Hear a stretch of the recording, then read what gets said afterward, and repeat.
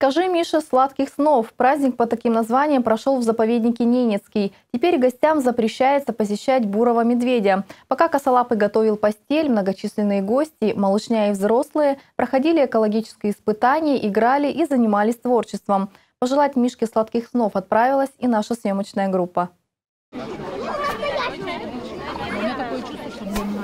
Мишка готовит себе теплую постель. Скоро у Косолапова начнется зимняя спячка. Пожелать Михаилу Потапычу сладких снов в этот день пришли более сотни жителей. Гостей встречали горячим чаем. Давайте вашу кружечку.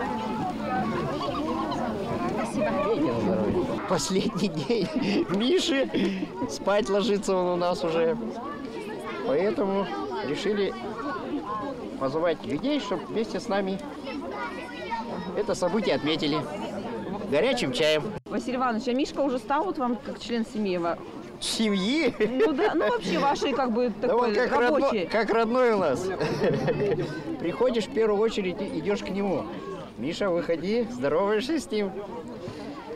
Как член нашей команды, да. Своему главному члену команды сотрудники заповедника Ненецкий устроили большой праздник с играми, подарками и многочисленными площадками. На одной из них побывал Артем Леонов. Я успел поучаствовать вон там вот, где канат. Ну, кто сильней? Ага, и кто был сильней? Ты выиграл? Ну, один-один. В команде белых и в команде бурых. Один-один, ничья. Кроме перетягивания каната, особой популярностью пользовалась станция «Уложи спать друга». Там малышня и взрослые бились на подушках. Любителям творчества на празднике тоже скучать не пришлось. Десятки ребятишек на свежем воздухе рисовали следы, собирали пазлы и делали мишутку из бумаги. А особо любознательные смогли совершить путешествие по экологической тропе.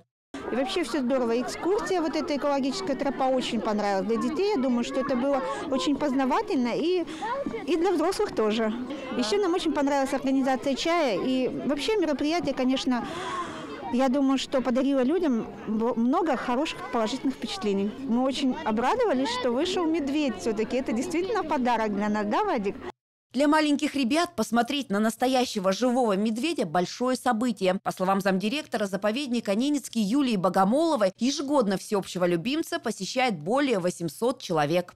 Каждый день приходит как минимум от 5 до 10 человек. И за весь сезон посещения больше тысячи человек приходят посетить. Как чувствует себя Мишка? Замечательно, я бы сказала. Вот ему сейчас привезли сено, лапник, он обустраивает свою берлогу, чтобы пережить, э, проспать не всю зиму.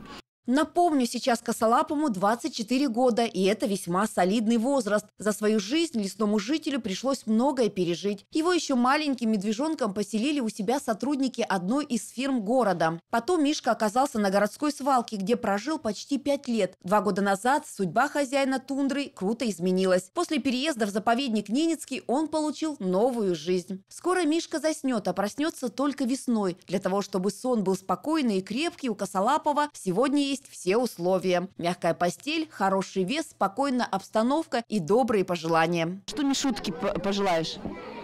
Приятных снов. Спокойной ночи.